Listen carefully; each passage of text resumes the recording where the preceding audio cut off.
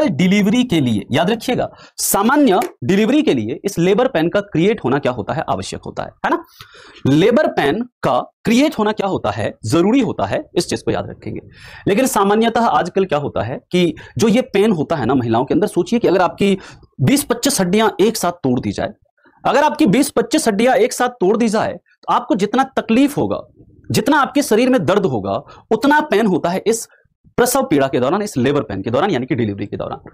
क्या होता है, कई फीमेल जो होती हैं, कई महिलाएँ इस दर्द को मतलब बर्दाश्त नहीं कर पाती हैं तो उनका क्या होता है, वो मतलब अपनाती हैं क्या सर्जरी ठीक है ना? ऑपरेशन के द्वारा वो बच्चे को जन्म देती हैं, जिसे हम लोग कहते हैं सर्जिकल चाइल्ड या जिसे सिजेरियन चाइल्ड कहा जाता है। जब किसी बच्चे का जन्म, याद रखिएगा, जब किसी बच्चे का जन्म सर्जरी के बाद होता है ऑपरेशन से होता है ना, वैसे बच्चे को सिजेरियन चाइल्ड कहा जाता है। कैसा चाइल्ड बोलते हैं उसे? सिजेरियन चाइल्ड कहते हैं, ठीक है?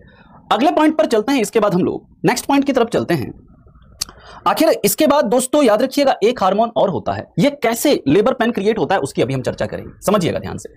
ध्यान से समझना। ये देखो क्या है, ये है यूटरस यही चित्र है, जो चित्र मैंने अभी बनाया।